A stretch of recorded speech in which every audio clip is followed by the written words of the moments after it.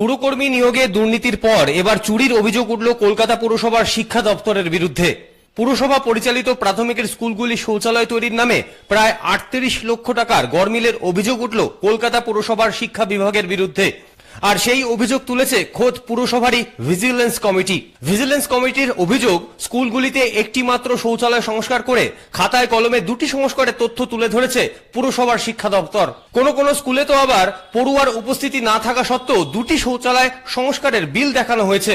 কোথাও আবার বন্ধ হয়ে যাওয়া বিদ্যালয়ে সংস্কারের নামে ভুয়ো তথ্য দেওয়া হয়েছে। সূত্র মারফত পাওয়া খবর অনুযায়ী তৃণমূল ঘনিষ্ঠ ঠিকাদারদের সুবিধা পাইয়ে দিতে কারোর নামে তেরোটি কারোর নামে নটি, তো আবার কারোর নামে চারটি সংস্কারের বিল দেখানো হয়েছে।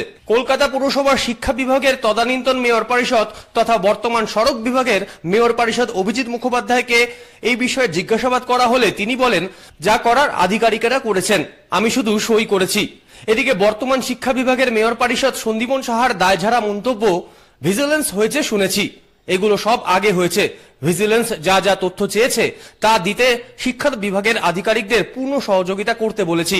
কেউ ভুল করে থাকলে ভিজিলেন্স যা পদক্ষেপ করার করবে। আমাদের পুরো বোর্ড এমন কোনো কাজ সমর্থন করে না। Bureau report EVM news